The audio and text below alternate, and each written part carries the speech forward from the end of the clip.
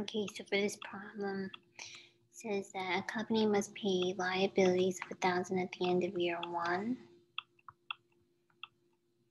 and X at the end of year two.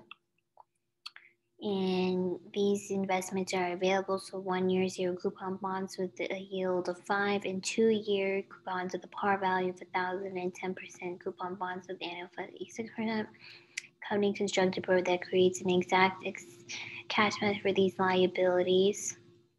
The total purchase price of this portfolio is this amount.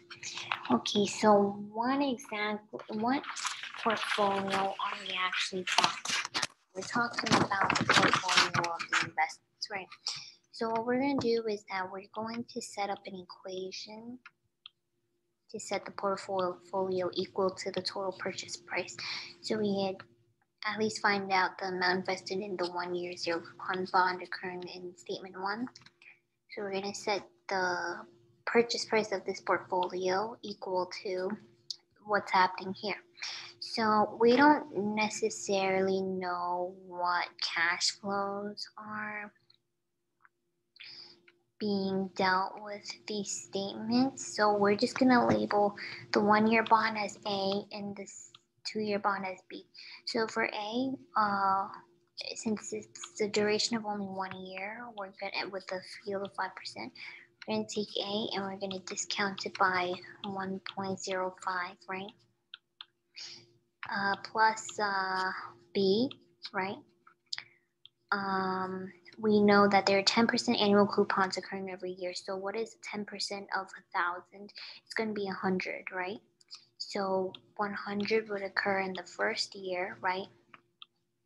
We discount it by uh, 6% by one year. Plus, um, so there's a 100 coupon year, and but it's only for two years. So you, you know what happens towards the end with the coupon of redemption is also covered. So it would be 100 plus the 1,000 par, right, over 1.06 squared, right? Now we want to solve for this equation. Okay, so uh, we could do 1 divided by 1.05, which is 0.95 two, three, eight,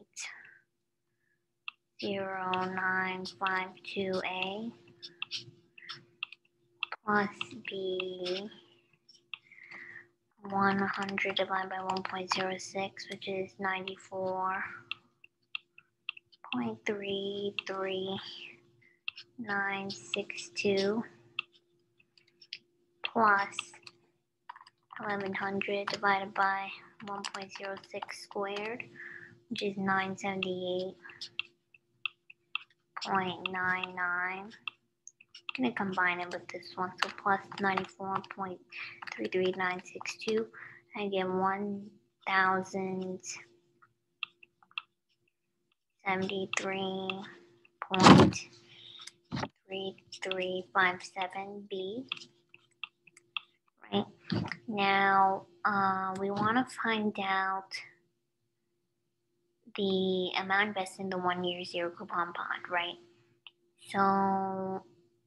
we also just want to set up a different equation so we could get either the of either of these variables by itself. Uh, most specifically, um, A, right?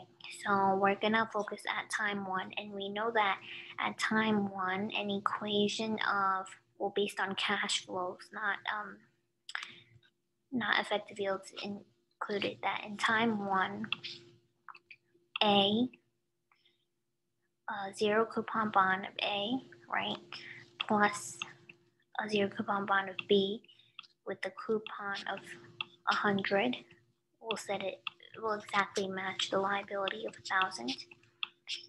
Now you want to get B by itself, right? So we're going to subtract A, right? And then we're going to divide 100. And then we're going to do 1,000 divided by 100. It's going to be 10 and then 1 divided by 100, which is 0.01. uh, A, right? Now we're able to, so this equals B, right? So we're in, we're able to input this uh, equation as B, so we cross out B. So we'll just have this equation times 10, uh, times uh, 1073 dot 3357, right?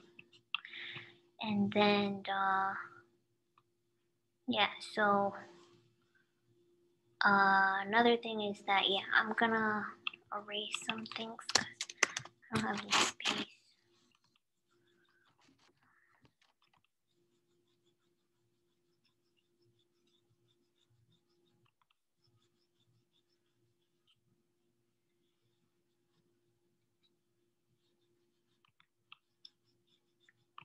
Okay, so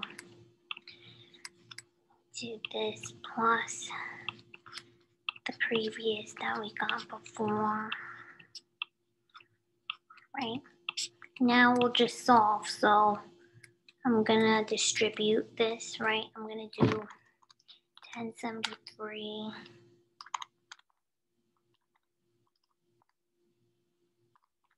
1073 dot 3357 uh, times 10, which is 1, 0, 7, 3, 3 dot 3, 5, 7. Now I'm going to do 1073 dot 3357 times 0.01, which is uh, minus uh, 10 dot 7 three, three, three, five, seven. Okay. Um, seven, uh, A, right? Then I'm gonna combine this and this. So I'll do 0.9523 minus uh, 10 0.73357. I get negative 9.780977A, right?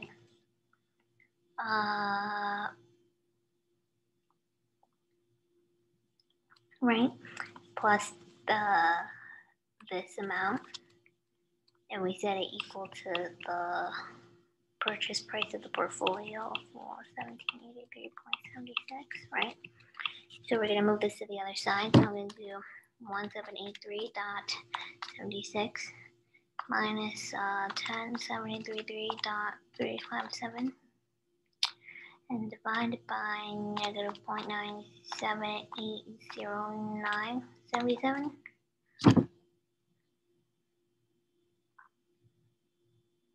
and I'm gonna get 915 as A.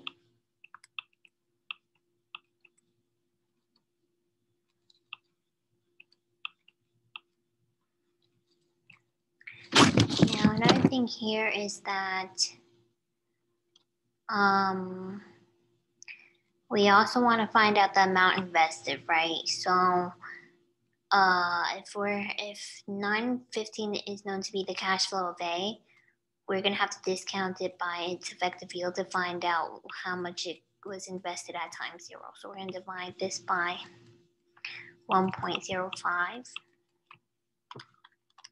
And we're going to end up getting 871.42, which makes C the answer.